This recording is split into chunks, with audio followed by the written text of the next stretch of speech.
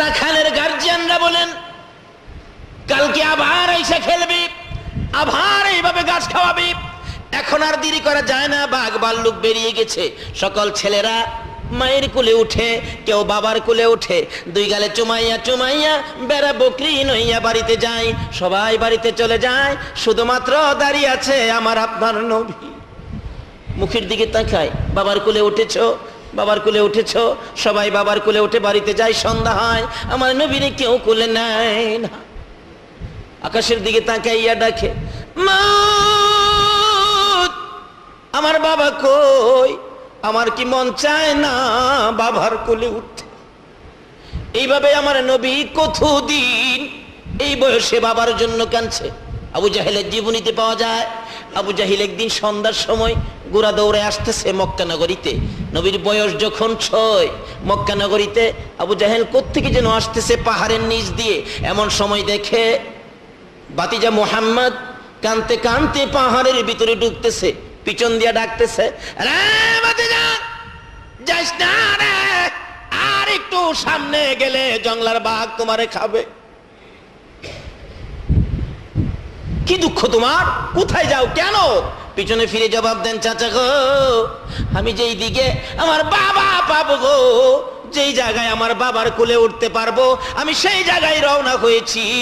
আমার বাধা দিয়েন না। আবু জাহেল বলেন, বাবা, তোমার কি বাবা আছে? কই যাইবা? কার কোলে উঠবা? কে তোমারে কোলে নিবে? সামনে গেলে বাগে খাইবো। আও তাড়াতাড়ি, আহো লম্বা ঘটনা। উঠাইয়া গুড়ার পৃষ্ঠে বসাইয়া বাড়িতে নিয়ে ডাকতেছেন। আমি না খাও আমি না কি?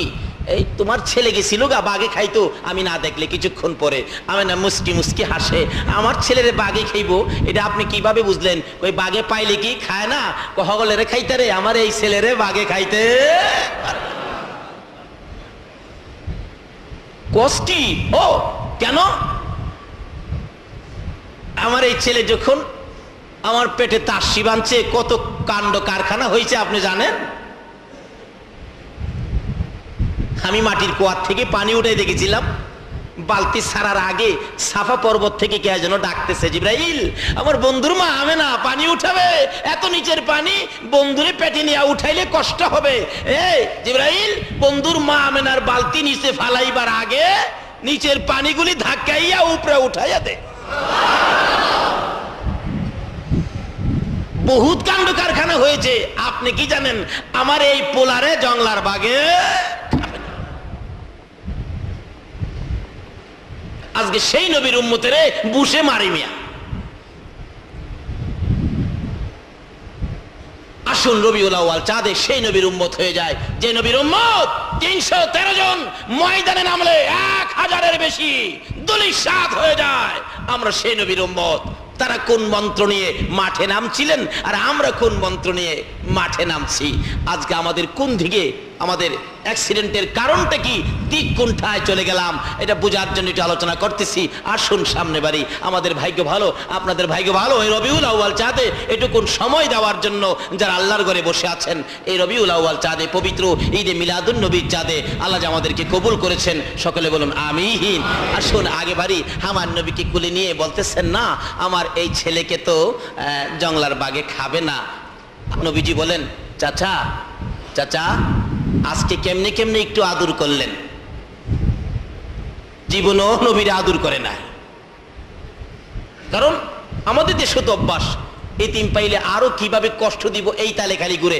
আদরের তালে নাই। যাই হোক, এদিকে আমার আলোচনা না। আসুন যাই নবীজির কালটা। ছোট কাল থেকে আস্তে আস্তে বয়স যখন ছয়ে পৌঁছলো ছয়ে যখন পৌঁছলো একদিন খেলার মাঠে এ অবস্থার মধ্যে খুব কাঁদতেছেন। বন্ধুরা বাবার কোলে উঠে, কিন্তু আমি তো উঠতে পারলাম না। মায়ের কাছে গিয়ে বলতেছেন, মা মা, কি আমার বাবা কই?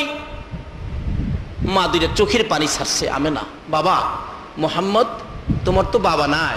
যদি বাবা ডাকতে মন চায়, আমারই বাবা ডাইকেও মা ডাকতে মন চায়, আমারই মা ডাইকে। এই বলে, শিশু নবী কান্দে আমে নাও কান্দে। দুইজনের কান্দার আওয়াজ শুনে চলে আসেন দাদা আব্দুল মুত্তালিব।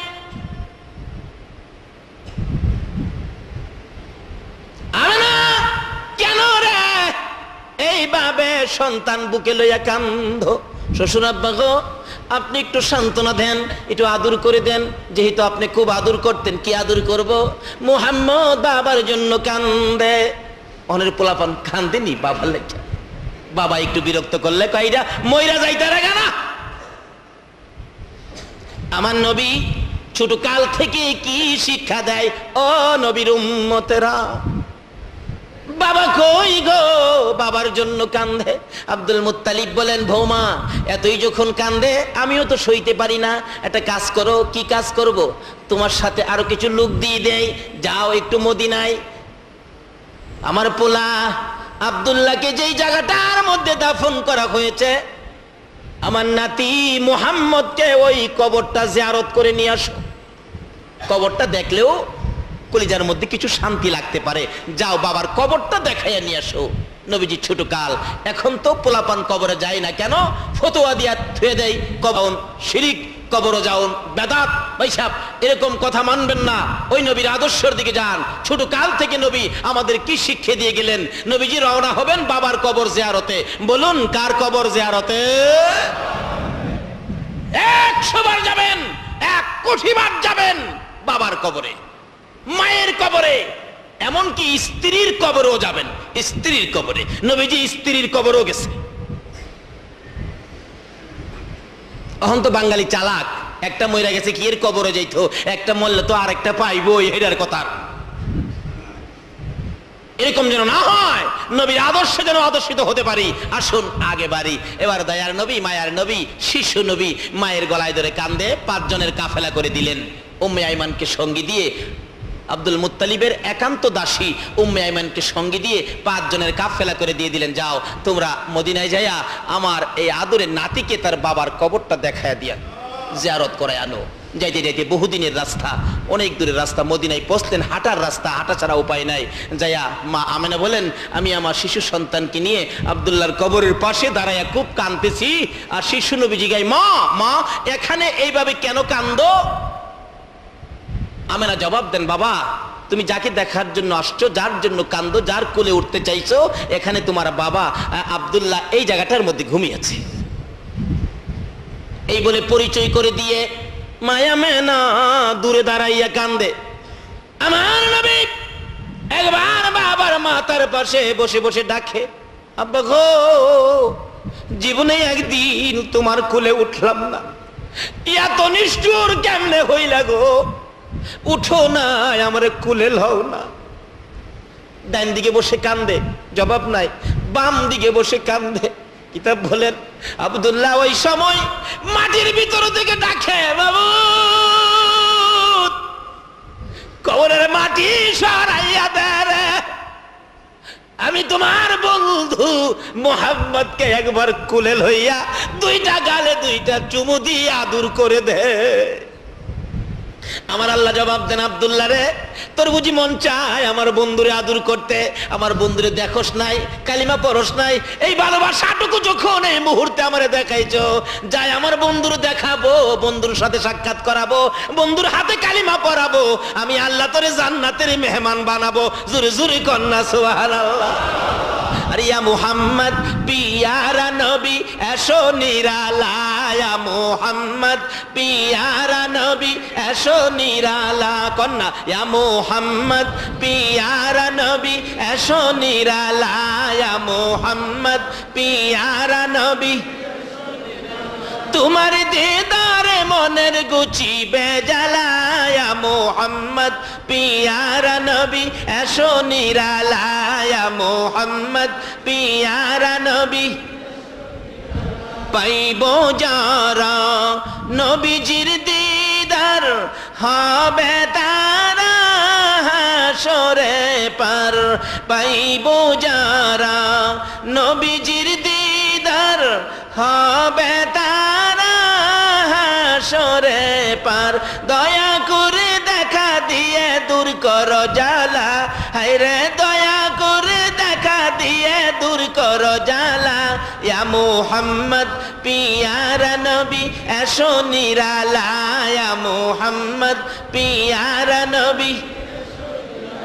তোফা জলের বাবো না নবী সারা হব না তোফা জলের বাবো না নবী সারা হব না, নবীর শেখ পার হইবে হাসরের বেলায়। মোহাম্মদ, পিয়ারা নবী, এসো নিরালায়া। মোহাম্মদ, পিয়ারা নবী। এইসব কষ্ট হইতাছে আপনাদের? কষ্ট হইলেও তো নবীর আলোচনা চলবে। নবীর পক্ষে থাকতে রাজি আছেন? নবীর পক্ষে থাকবে যে আল্লাহর পক্ষে, আল্লাহ তার পক্ষে থাকবে।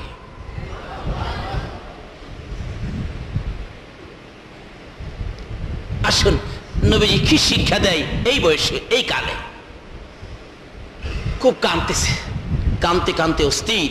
বাবা আর কোলে নেয় না? মা আমেনা বলেন, বাবা মোহাম্মদ বুঝেছি তোমার বাবা কোলে নিবে না। আয় আমি মায়ের কোলে তাই না কোলে নিলে?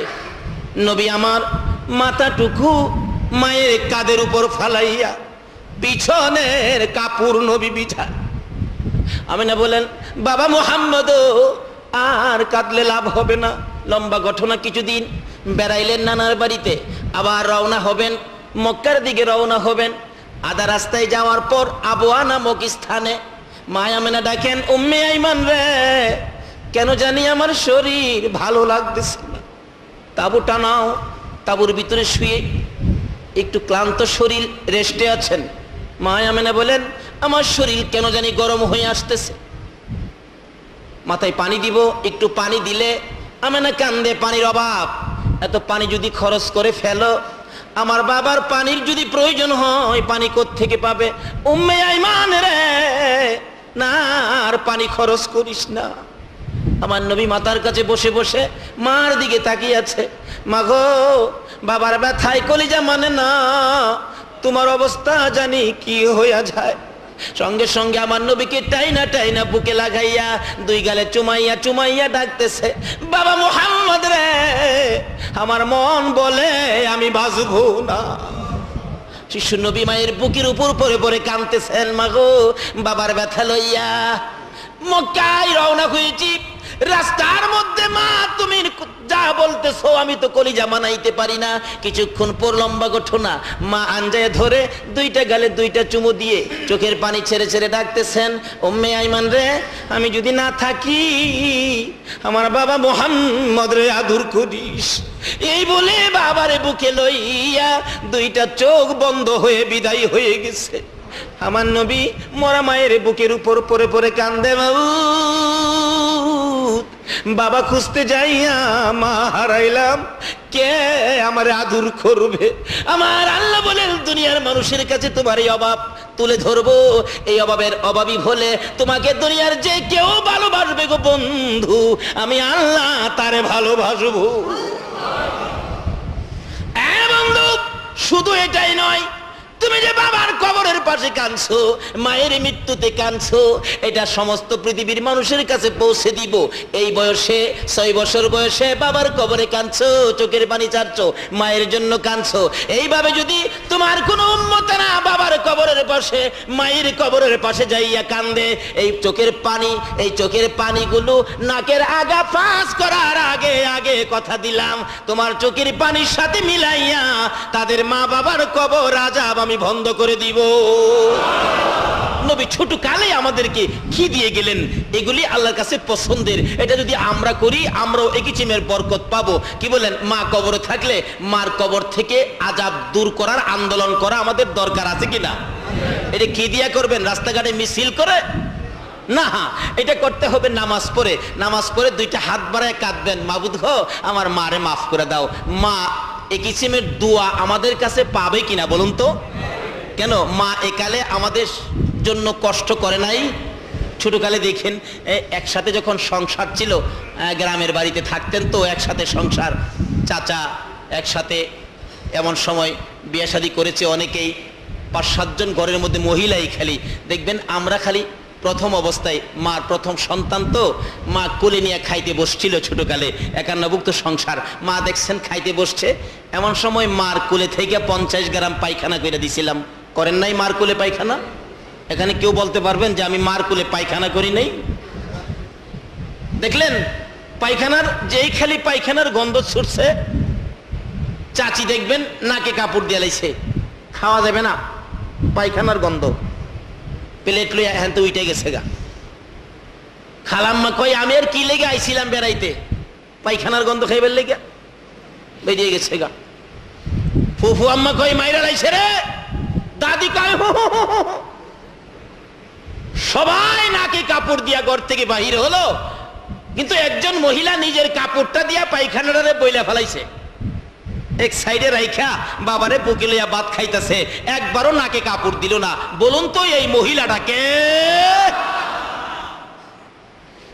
শুধু মা বাবা কি জিনিস আমার নবী শিক্ষা দিতেছে।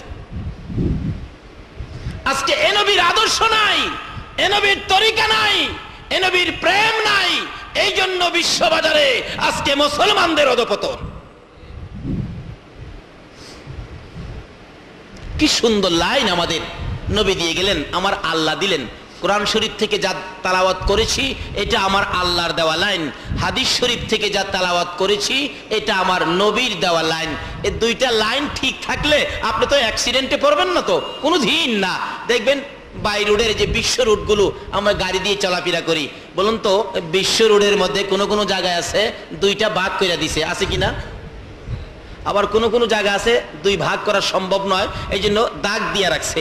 সাদা দাগ দিয়া দুই ভাগ করে বুঝাইলেন, একদিক দিয়া গাড়ি আসবে, আরেক দিক দিয়া গাড়ি যাবে। আচ্ছা বলুন তো, এই দাগ মাইনা যদি ড্রাইভাররা গাড়ি চালায়, কোনোদিন অ্যাক্সিডেন্ট হবে? আচ্ছা এখন কি দাগ মানে? খালি ওভারটেক ওভারটেক করে আরেক বেচারার জায়গা দিয়ে যাইতেছে, কুয়াশার মধ্যে, ওদিক দিয়ে তার নিজের জায়গা দিয়ে গাড়ি আসতেছে। মুখামুখি সংঘর্ষ। দুইটা গাড়ি ভাঙলো, পাঁচজন প্যাসেঞ্জার মরল, তিন ঘণ্টা রুট জাম লাইগা রইল। বলুন তো, এটার কারণটা কি? দাগ মানে নাই। আজকে বিশ্ববাজারে মুসলমানদের অধপতনের কারণ হলো, আল্লাহ আল্লাহ রাসুলের দেওয়া দাগগুলি আমরা মানি না। একটা দাগ হলো কোরআন আর একটা দাগ হলো হাদিস।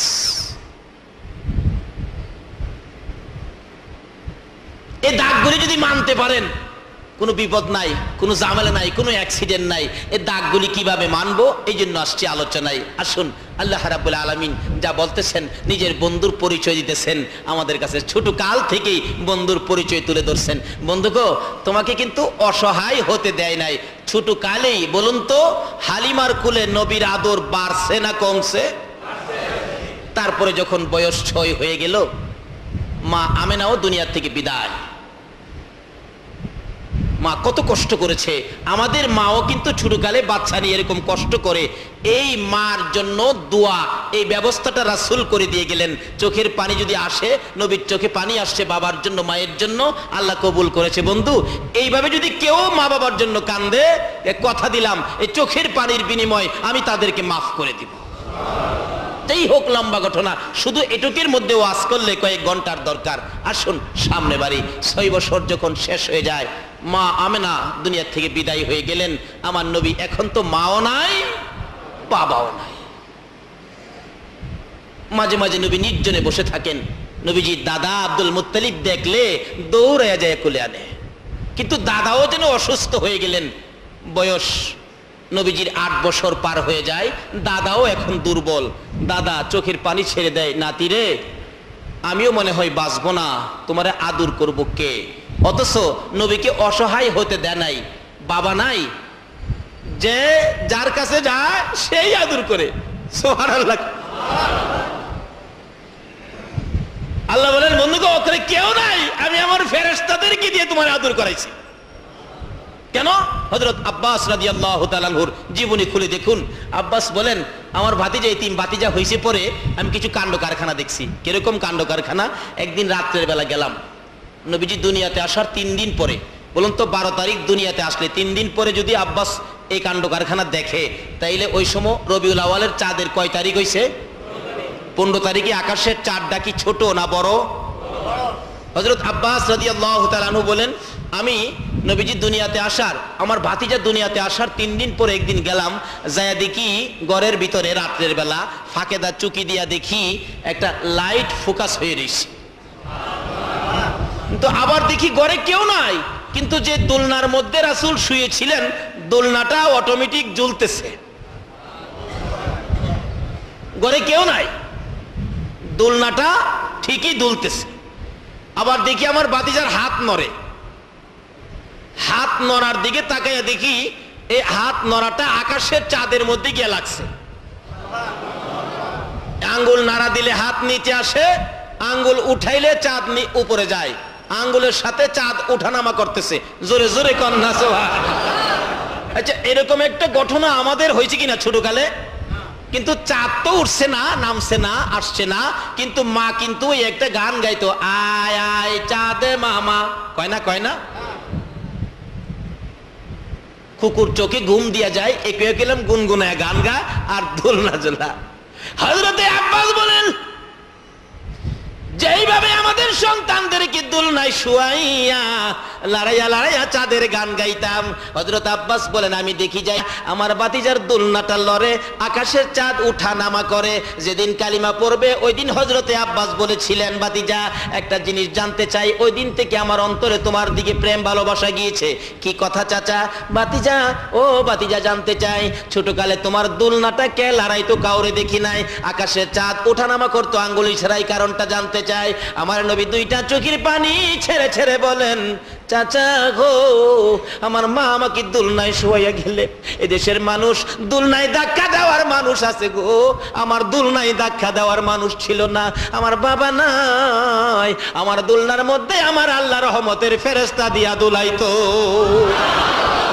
এদেশের ছোট্ট ছোট্ট ছেলেরা, মেয়েরা ছোট কালে যখন বিছানায় শুইয়া কিছু খেলতে চাই দেখতে চাই।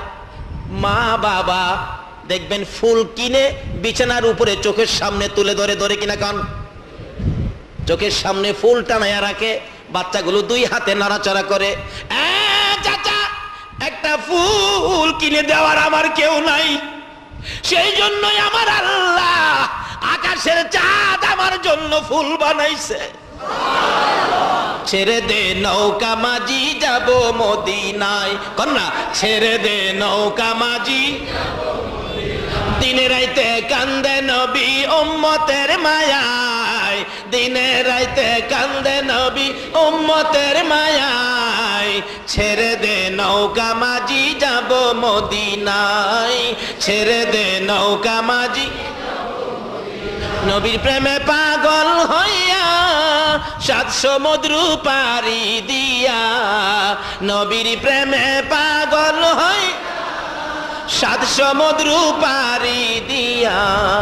নবীর রৌজা জিয়ারতে হব রোয়ানায়। নবীর রৌজা জিয়ারতে হব রোয়ানায়। ছেড়ে দে নৌকা মাঝি, যাব মদিনায়। ছেড়ে দে নৌকা মাঝি দিনে রাইতে কান্দে নবী উম্মতের মায়ায়। দিনে রাইতে কান্দে নবী উম্মতের মায়ায়। ছেড়ে দে নৌকা মাঝি, যাব মদিনায়। ছেড়ে দে নৌকা মাঝি, নবীজি দাদা বলতেছেন নাতিরে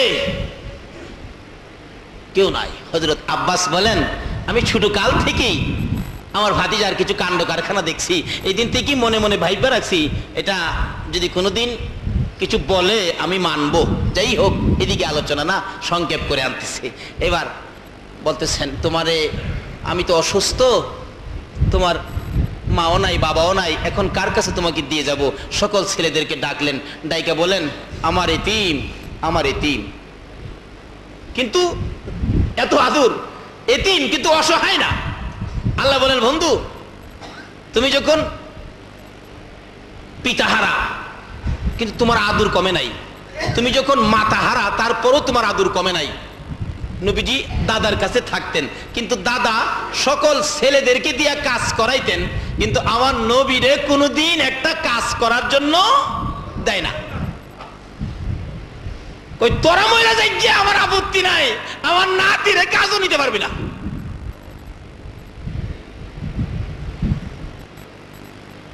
আল্লাহ কয়, বন্ধু গো, কি খবর? কই না, আদুর আছে। এই নবীর উম্মত হইতারলে আল্লাহর কাছে আপনাদেরও আদুর আছে। ছাড়ে না। কোনো কাজ আমার নাতির দিতে পারবি না। যেই হোক, এবার নবীজির দাদাও দুনিয়ার থেকে বিদায় মুহূর্ত সকল ছেলেদেরকে ডাকলেন, আসো ওইদিকে আসো। আবার কেন ডাকছেন? চোখের পানি ছাড়তেছে বুড়া মানুষ। আমার এই নাতিরে, তোরা কে নিবে? আমি তো দুনিয়ায় থাকব না, চলে যাব। তোরা কে? কে নিবে? আমির হামজা গিয়া কয়, আব্বা, আমারে দেন, আমি নিব কতক্ষণ চায় থেকে কয়, না রে, তুই আমার এই নাতির আদর করার মতো মন মানসিকতা তোর নাই। কন কি? হা, পারতি না।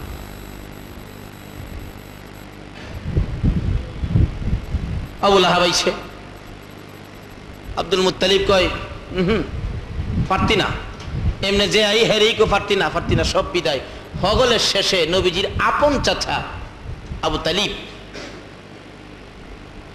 নবীজির বাবার বড় এক মার পেটের ছিলেন চার ভাই। এর মধ্যে খাজা আবদুল্লাহর বড় ছিলেন আবু তালিব। আবু তালিব এসে কয়, আব্বা, হগলের তো বিদায় করে দিলেন। আমার জানি ভাগ্যে কি আছে জানি না। আমার কি ভাগ্যে নসিব হবে? আপনার নাতিরে লালন পালনের দায়িত্ব নিতে আব্দুল মুত্তালিব দুইটা চোখের পানি জন জন করে ছেড়ে দিয়ে বলেন, বাবা আবু তালিব রে, আয়, অপেক্ষায় ছিলাম, কোন সময় তুই হাত বাড়াবি? আমার আদরের নাতি তোর হাতে উঠাইয়া দিব। আব্দুল মুত্তালিব দুইটা চোখের পানি ছেড়ে ছেড়ে শিশু নবীকে তুলে দিলেন। আবু তালিবের কাছে। আবু তালিব নিয়ে ঘরে ঢুকলেন। অভাবী সংসার চলতেছে বেশ কিছুদিন, কিন্তু অভাবে যখন চাপ মারছে, অনেক সময় অনেকটা মাস অভাব বেশি হয়। যেমন আমার দেশে কথা আছে, চৈত্র মাসে বলে অভাব। আসলে অভাব চৈত্র মাসে না, অভাবটা বেশি হয় বৈশাখ মাসে, কি কর চৈত্র মাসে কিন্তু জ্বর তুফান থাকে না। বৈশাখ মাসে এমনিই তো দাওয়া কাঠি ঠিক মতো উঠে নাই, আবার দেখবেন তুফানে গড় ভাঙ্গে লাইছে গাছ ফালাই দিছে, পাও ভাঙ্গে গেলাইছে মানুষ মারা গেছে তুফানে। শুনেন নাই? পত্রিকায় দেখেন নাই? আচ্ছা এগুলি কি চৈত্র মাসে বেশি হয় না বৈশাখ মাসে বেশি হয়? আসলে সমস্যাটা বৈশাখ মাসেই বেশি। যাই হোক, এমন একটা চাপ মারছে আবু তালিবের সংসারে। আবু তালিব একটা মহল্লাবাসী নিয়ে পরামর্শ করতেছেন, দেখো, ভাবছিলাম যে আর ব্যবসা বাণিজ্যে যাব না, অবস্থা খারাপ, দেখা যায় আরেকটা সফর ব্যবসা বাণিজ্যের উদ্দেশ্যে আমাকে দিতে হবে। কে তোমরা যাইবা? আলাও একটা সফর দিয়াই, বুড়াকালে একটা সফর দিয়াই, বুড়াকালে। পরামর্শ করতেছে, কিন্তু এরপরেও কিন্তু সাবধান, আমার বাতিরা যেন না জানে। আল্লাহ কই বন্ধু গো, তোমার কষ্ট হইতে দিবে না।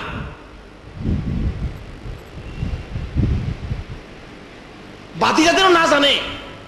বাতিজা যদি জানে যে বুড়া বয়সে চাচা অভাবে সংসার দেখে করতে বেরিয়েছে, আমার বাতিজা কষ্ট পাবে। বাতিজা যাতে না জানে। সাবধান। চুপচাপ কাফেলা তৈয়ার হয়ে গেছে। বলুন তো, নবীজি কি জানতে বাহি আছে? আরও যদি কোন বাহি আছে? আপনারা তো শহরে থাকেন মিয়া। গ্রাম এলাকাতে দেখবেন পোলাপান বাবার পাগল থাকে, চাচার পাগল থাকে। অনেক সময় দেখেন বাবা ডাকা আইব তো গ্রাম থেকে। খালি কইতেছে, আব্বা, আমি যাব ডাকা আমি যাব ডাকা অনেক কিছু বুঝাইলেন মানে না। দশটা টাকা দিলেন মানে না। বিশটা টাকা দিলেন মানে না। যামু। অবশ্যই পঞ্চাশ টাকা দিয়া কয়, বাবা, তোমার যাও অনেক কাম নাই, আবার যাই বলা, তোমার নিমু। আমার ছেলেটা চুপ করে ঘরে গেছে গা। ঘরে গেছে পরে বাবা তো মনে করছে হ্যাঁ বুঝাই লাইছে যায়, যেই খালি রিক্সা দূরছে বাস স্ট্যান্ডে যাব, ট্রেনের স্টেশনে যাব, রিক্সার মাঝে উঠতে খালি রিক্সার রিক্সা টান দিছে।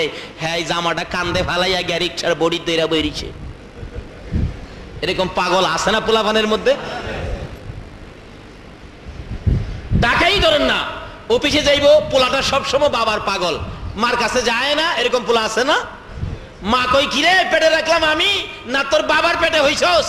পোলা দেখেন কয় হা বাবার পেটে হইছি।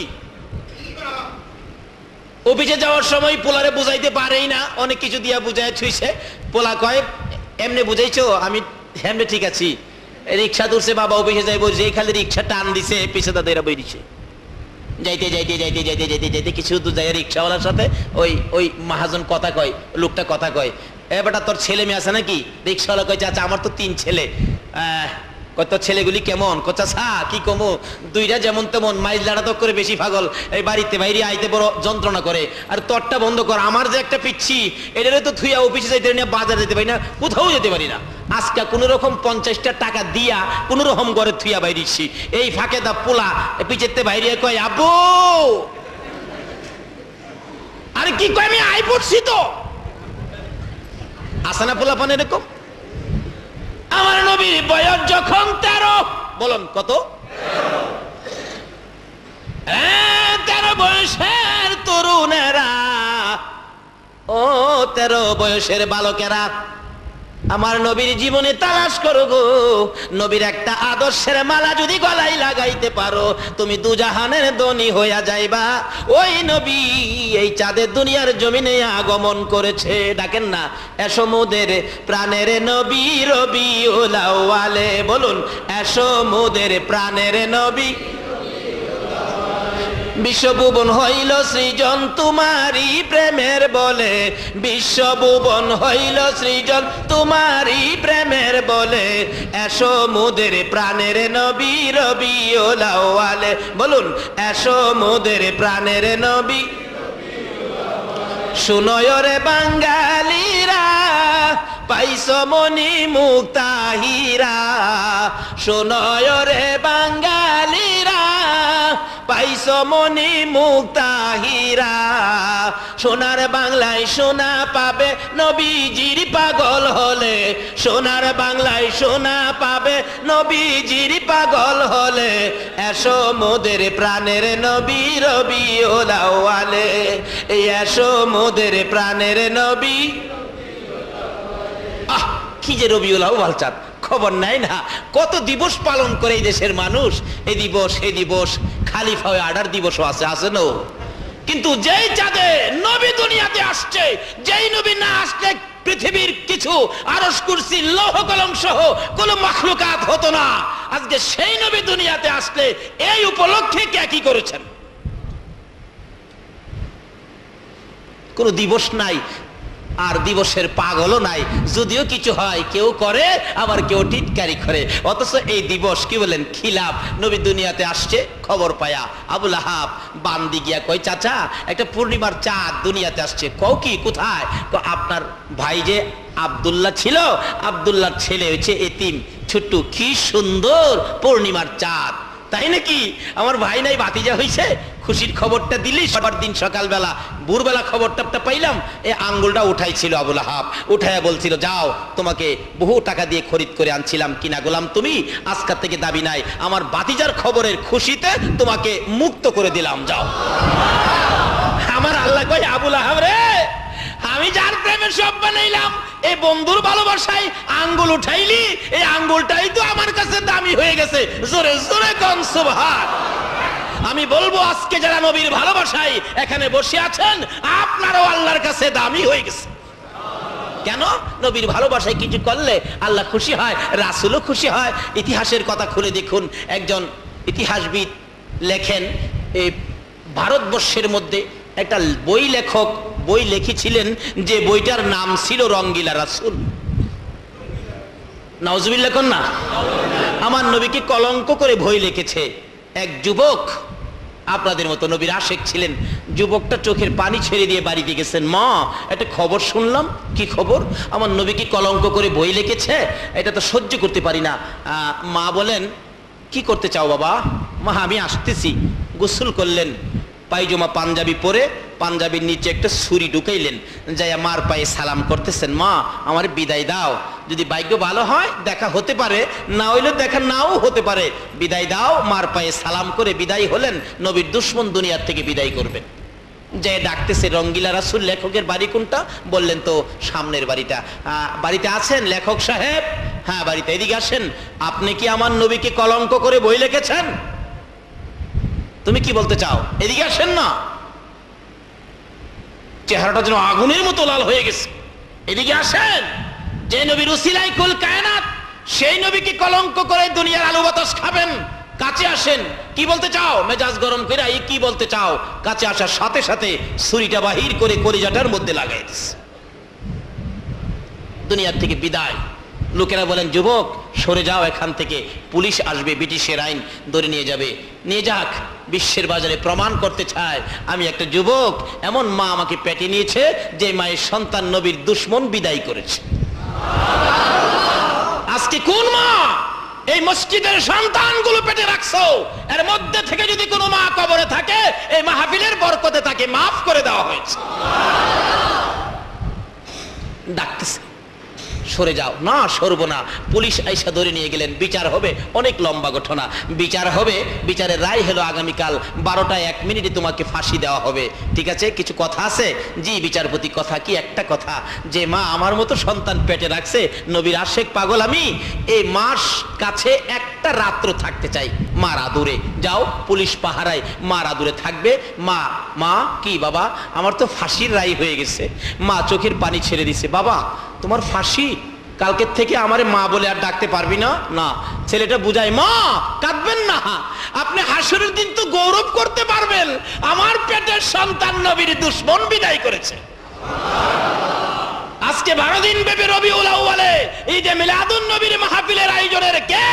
সদস্যগুলো কারা? মা হাসরের দিন গৌরব করতে পারবে। আমার ছেলেরা বারো দিন ব্যাপী নবীর স্মরণে মাহফিল করেছে।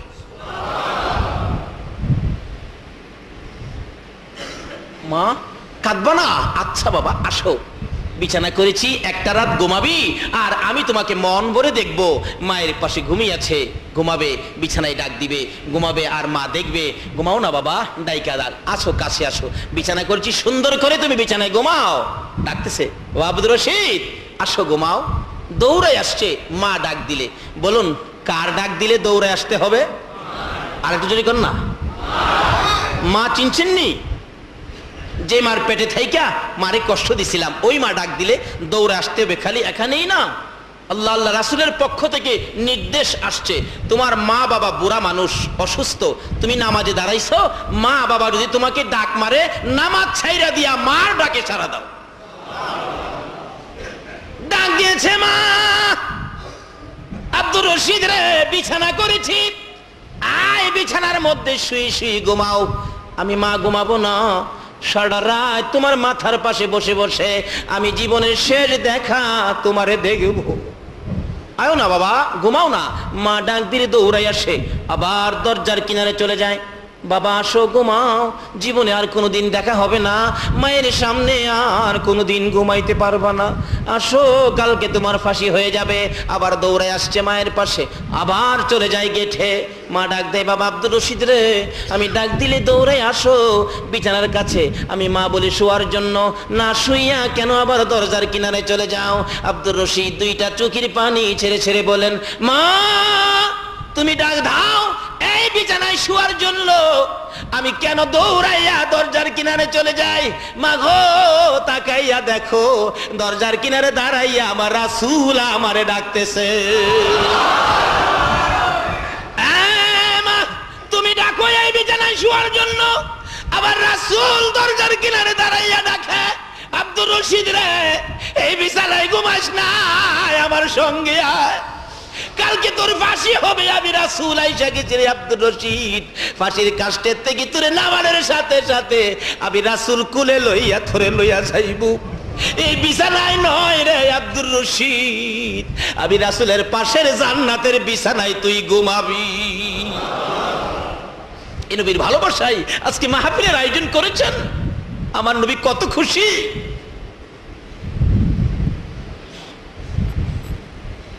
বলতেছিলাম, ওই নবীর প্রেম আর ভালোবাসার মালা গলায় লাগান। আমার আল্লাহ খুশি হবে গো, রাসুল খুশি হবে গো। যে নবীর প্রেম আর ভালোবাসায় আমার আল্লাহ এত কিছু করেছেন, এক নবীর জন্য এত কিছু করেছে। আজকে সে নবীর ভালোবাসায় সময় দেওয়ার ভাগ্য কোন মায়ের সন্তানের হয়েছে, কার হয়েছে? আসুন আগে বাড়ি। ভাই সাহেব, আমি শেষ পর্যায়ে যাইতেছি, আপনাদের কষ্ট হইতাছে না তো?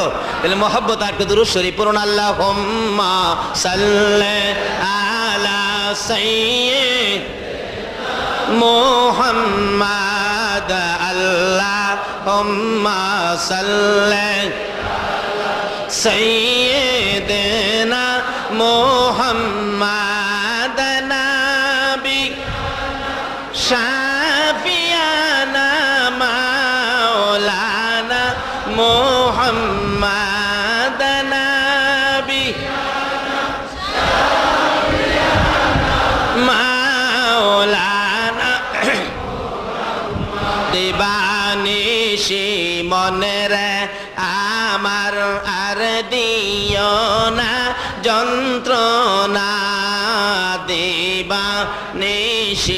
মনে রে। আর দিও না যন্ত্রণা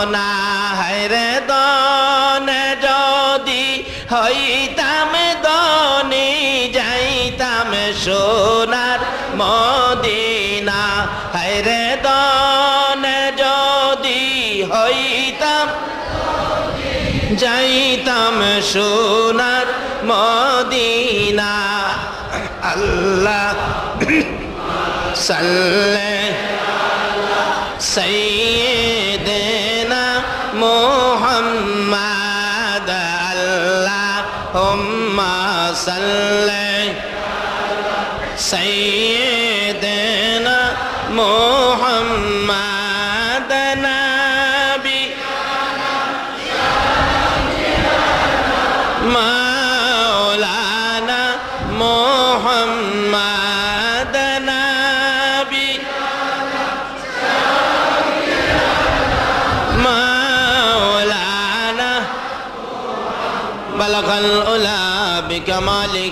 নাই ব্যবসায়ী যাবেন বুড়া বয়সে। নবীর বয়স জানি কত ছিল? আরও জোরে কোন কত? তাই তেরো বছর বয়সের যুবক, তরুণ, বালক, বাল্যকাল আমাদের আসে না, হয়ে গেছে না? এক সময় ছিল কিনা বলুন তো? এই কালটা নবী আমাদেরকে কি দিয়ে গেলেন? এটা যদি আমাদের মধ্যে থাকে, সমাজে, মহল্লায় অশান্তি থাকবে না। চাচা চাচা, কি বাবা? আপনার যেন বাপসাপ কেমন লাগে, কোথাও যাবেন নাকি? ওই যে বাচ্চা রিক্সার বড়ির দরতাছে কি গান? বাবা, তুমি কেমনে টের পাইলা? চাচা, আমার বাবা নাই, আপনি আমারে আদর করেন। ছেলের মতো, আমিও কিন্তু আপনারে বাবার মর্যাদা দেই। বালক মোহাম্মদ কি বলল? চাচাকে কিসের মর্যাদা দেয়? অন্ত পত্রিকায় পাওয়া যায়, চাচার মাথার বাড়িও দেয় মুসলমান। বাতিজার আগাতে কত চাচা যে বাংলাদেশে মরছে কিন্তু আমার নবী কি শিক্ষা দিয়ে গেলেন? চাচা, আপনি ব্যবসায় যাবেন, এই বুড়া বয়সে কষ্ট হবে না? বাবা, কি করব? আমি কষ্ট করতে রাজি, কিন্তু তোমাকে কষ্ট দিতে রাজি না। চাচা, যত কথাই কন, আপনার কষ্ট লাঘবের জন্য, কষ্ট কম হওয়ার জন্য আমি আপনার সঙ্গী হব। মুরব্বীদের সাথে যায় কয়, পারলাম না তো বাতিজারে থুয়ে যাইতে পারলাম না। বাতিজা তো সঙ্গী হয়ে গেল গা। তাও রাজ জাবুর ইঞ্জিল কিতাব বলেন, আমার নবী সঙ্গী হইয়া ব্যবসার উদ্দেশ্যে মক্কানগর থেকে যাবেন, কাফেলার সঙ্গে হইয়া। এক পাদ্রী তাওরাত জাবুর ইঞ্জিল কিতাবের মধ্যে পেয়েছে, তেরো বছর বয়সে আখিরি নবী চাচা আবু তালিবের সঙ্গী হইয়া এই পদ দিয়ে ব্যবসার উদ্দেশ্যে যাবে, তাওরাত জাবুর ইঞ্জিল কিতাবে খবর দিচ্ছে তাওরাত জাবুর ইঞ্জিল কিতাব দুনিয়াতে আইসে নবী আসার আগে না পরে? আগে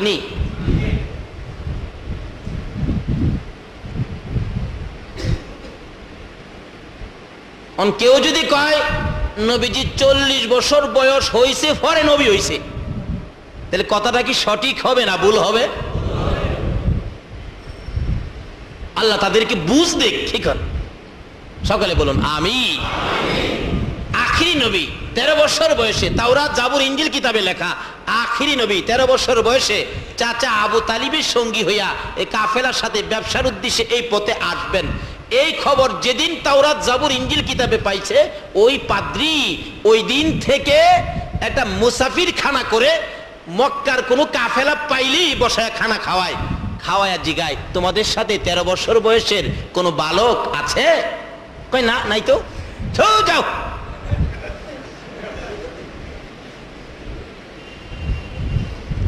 কাফেলা দেখলেই খবর দেয়, নিয়ে আসো মুসাফির খানায় ঢুকাও ঢুকাইছে খানা খাওয়াও। খানা খাওয়াইয়া উনি যায়, পাদ্রি যায়, হজুর মানুষ তো, পিসাব মানুষ, মুরব্বী মানুষ যায়, যে জিগায় তোমরা কি মক্কার কাফেলা? বলে হ্যাঁ খানা খাইছো, খাইছি। তোমাদের সাথে তেরো বছর বয়সের কোনো বালক আছে? না, নাই তো। এই যে খাউন খাওয়াইতেছে, সই সম্পত্তি শেষ। কিন্তু যার খুঁজে আয়োজন, তারে তো আর পায় না। পাদ্রি, কি পাগল, আর উম্মত হইয়া পাগল হইলাম। শেষ বয়স সম্পত্তি শেষ শেষ মুহূর্ত, ডাকতেছে, হাইরে, মনের আশা কি পুরা হবে না? এমনি সময় দেখে একটা কাফেলা আইসা বাড়ির সামনে ক্লান্ত হইয়া গাছের নিচে বসছে। সবাই গাছের নিচে বসছে ময় মুরব্বীরা। কিন্তু আমার নবীর আদর্শ দেখেন, বালক বয়স, তরুণ বয়স, নবীজি মুরব্বীদের কাছে বসে না কেন?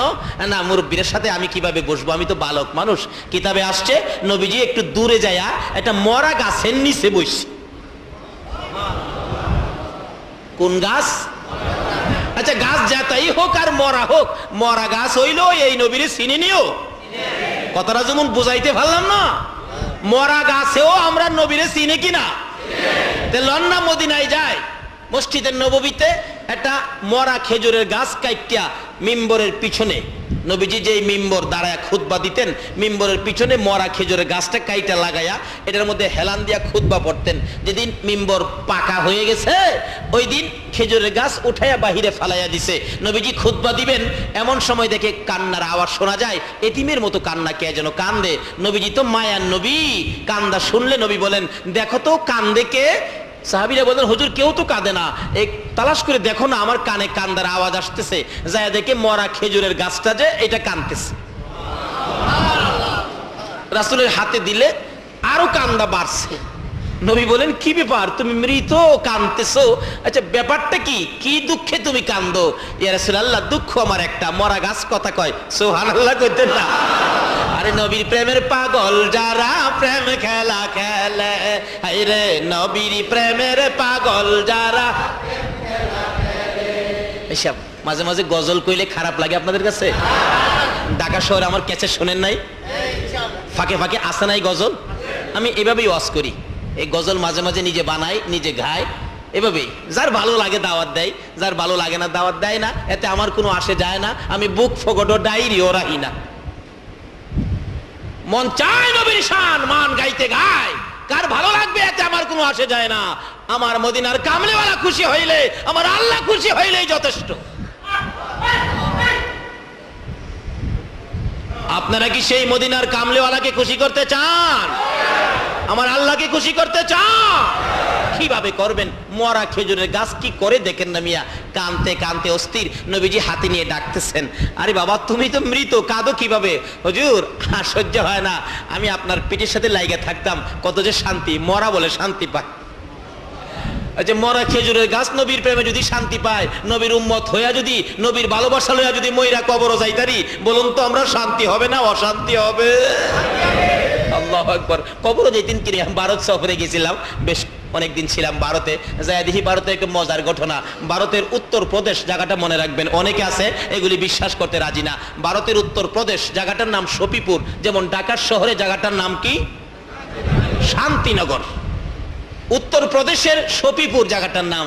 এক আল্লাহর অলি নবীর আশেক ছিলেন, উনি বলেন, আমি মারা গেলে আমার মাটির নিচে দাফন করিস না, মাটির উপরে রেখে দিবি।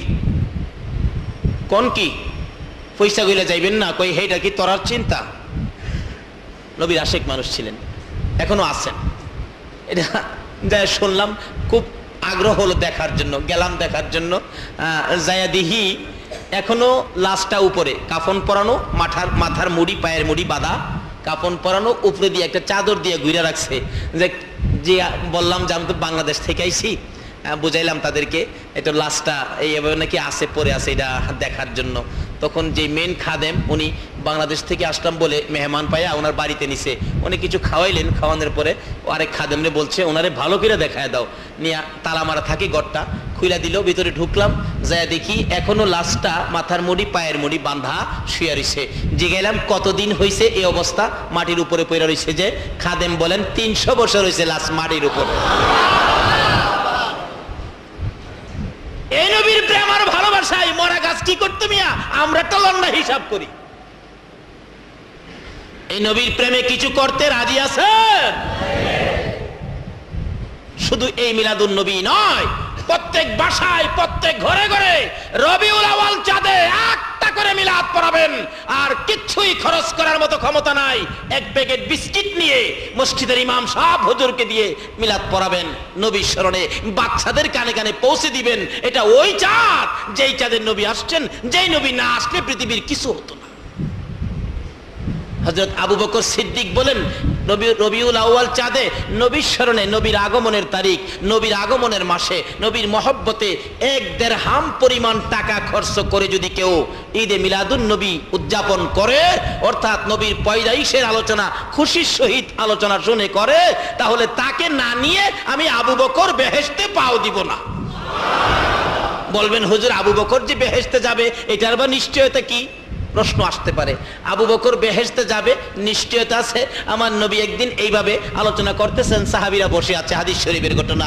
জিব্রাইল এসে বলেন, ইয়া রাসূলুল্লাহ, আপনার এই সাহাবিদের মধ্যে একজন সাহাবিকে জান্নাতে নেওয়ার জন্য আটটা জান্নাত আন্দোলন করতেছে। হেলা কই হেলা নিব, হেলা কই হেলা নিব। এটা লইয়া ঝগড়া হইতেছে, হুজুর। আপনার উম্মতের নিবার লাগিয়া একজনের লাগিয়া আটটা পাগল হইব ইসে। রাসূল কই কও কি? অন্য নবী রাসূলের উম্মতেরা বেহেশতের লাগে পাগল, আর আমার কয়জন কয়জন নবীজি মুস্কি হাসে যাবের রে আমি নবী না হইলে কিছু হইতো না আমি সেই নবী চিন্তা করিস না আজাই হুজুর এ একজন তো আরে আজাই চিন্তা করিস না আল্লাহ যেন কবুল করেন সকলেই দোয়াই শরিক হন আল্লাহুম্মা আমিন Aku aku lagi baru apa Pak? Nggak ربنا ظلمنا أنفسنا وإن لم تغفر لنا وترحمنا لنكونن من الخاسرين রব্বির হামহুমা কামা রব্বায়ানি সগীরা। রব্বুল আলামিন জান্নাতের বাগানে বসে জান্নাতি মেহমান লইয়া আমি গুনাগার তোমার শাহি দরবারে হাত বাড়াইছি। মাবুদ, আব্দুল গফুর রহমতুল্লাহ স্মরণে, ইসলামী সুন্নি মহাসম্মিলনে আমরা যারা হাত বাড়াইছি, আমাদের তামাম জিন্দিগির গোনাগুলো ক্ষমা করে দাও। মাবুদ গো, ক্ষমা যদি না করো গো আল্লাহ, এই গুণা লইয়া যদি কবরে ঢুকি, গজব কবরের আজাব আমরা কেমনে সইব? সাপ বিচ্ছুর কামুর আমরা সইতে পারব না। মাবুদ একটা টাকা রেন থাকতে, একটা গুণা আমলে থাকতে আমাদেরকে সাদা কাফন পরাইও না। আজকের মাহফিলে যাদেরকে নিয়ে হাত বাড়াইছি, আমি জানি না এই শীতের মধ্যে এত রাত পর্যন্ত যারা বসে আছে, কার মনে জানি কি ব্যথা রে, কি জানি দুঃখ রে। কার মনে জানি দুঃখ বাবা নাই কার মনে জানি দুঃখ মা নাই মা নাই যার মা নাই এই অভাবটা কি দিয়া পুরা হবে রে আল্লাহ? যার বাবা নাই, এই অভাব কি দিয়া পুরা হবে রে আল্লাহ? যারা মায়ের অভাবী, বাবার অভাবী, আজকের মাহফিলের উসিলাই মহরম চাঁদের উসিলাই ইমাম হুসাইনের কারবলার জমিনের তাজা রক্তের উসিলাই ওই সকল মা বাবার কবরগুলো জান্নাতের বাগান বানাইয়া দাও। মাবুদ গো মা বাবা যার দুনিয়াতে আছে, হায়াত বাড়িয়ে দাও। মা বাবা কেমন জিনিস বুঝার তৌফিক ছেলে মেয়েদেরকে দান করে দাও। ইয়াল্লা দাদা দাদি, নানা নানি, শ্বশুর শাশুড়ি আলিয়া উলাদ বংশধর মই মুরব্বী পাড়া প্রতিবেশী, খানদানবাসী, মহব্বতী যারা কবরে, মাহফিলের উসিলাই সকলের কবর জান্নাতের বাগান বানাইয়া দাও। হ্যাঁ মাবুদ, খাস করে আজকের এই সমাজ কল্যাণ পরিষদ, এই সংস্থার সকল সদস্যগণকে তোমার মায়ার হাতে দিলাম গো আল্লাহ। তাদেরকে তুমি কবুল করে লও। আল্লাহ সংগঠনের সকলের বংশ থেকে যারা কবরে চলে গেছে, মা, বাবা, দাদা, দাদি, নানা, নানি সহ আত্মীয় স্বজন, বংশধর, সকলের কবর মাহফিলের উসিলাই জান্নাতের বাগান বানাইয়া দাও। মাবুদ এই সংগঠন কর্তৃক আয়োজিত এই মাহফিল তোমার কুদরতি হাতে দিয়ে গেলাম। কেয়ামত পর্যন্ত এই মাহফিল তুমি কায়েম রাইখো গো আল্লাহ। মাহফিলের উসিলাই কাল কেয়ামতে নবীর গুদারায় উঠাইয়া ফুলচিরাতের ফুল পার করে দিও গো আল্লাহ। ইয়াল্লাহ খাস করে আমাদের মধ্যে যারা অভাবী অভাব দূর করে দাও। যারা বিমারি, বিমার শেফা করে দাও। যারা অভাবী, অভাব দূর করে দাও। যারা ব্যবসা করে, ব্যবসায় বরকত দাও। যারা চাকরি করে, পদোন্নতি দান করে দাও। যারা গৃহস্থী করে, করবে জমির ফসলে বরকত দিয়ে দাও। যারা বিদেশ থাকে, অনেকে বিপদে আছে। সকল বিদেশি ভাইদেরকে বিপদ মুক্ত করে নেক হায়াত বাড়াইয়া দাও। রুজি রোজগারে বরকত লাগাইয়া দাও। রোজগার শেষে দেশের ছেলে দেশে ফিরাইয়া দিও গো আল্লাহ। আয় মাবুদ যারা লেখাপড়া করে লেখাপড়ায় বরকত দাও, যারা পরীক্ষা দিতেছে দিবে, কামিয়াবি দান করে দাও। খাস করে আমরা যারা হাত বাড়াইছি, আমরা সকলকে একদিন দয়ার নবীরে স্বপ্নে দেখাইয়া দিও গো আল্লাহ। নবীজিকে স্বপ্নে না দেখাইয়া এই মাহফিলের কাউকে তুমি সাদা কাফনের প্যাকেটে ঢুকাইও না। মাবুদ, যারা এই মাহফিলের সাহায্য সহযোগিতা করেছে বুদ্ধি পরামর্শ দিয়েছে, টাকা দিয়েছে, গরু দিয়েছে, চাউল দিয়েছে। সকলকে তুমি নেক হায়াত বাড়াইয়া দাও, রুজি রোজগারে বরকত লাগাইয়া দাও। হায়াত যদি না বাড়াও গো, তোমার নবীর গোলামির মাহফিল কেমনে করব গো আল্লাহ? মাবুদ, এ মাহফিলের উসিলাই সবাইকে তুমি কবুল করে লও। ইয়াল্লাহ সিন্নি বিতরণ হবে, সারা রাত মাহফিল চলবে। যা আলোচনা হয়েছে আরও যা আলোচনা হবে আমাকে সহ সকলকে তুমি আমল করার তৌফিক দাও। ও কলকিহি মুহাম্মাদ আলিহি ও আসহাবিহি আজমাইন। বিহক লা ইলাহা ইল্লাল্লাহু মুহাম্মাদুর রাসূল।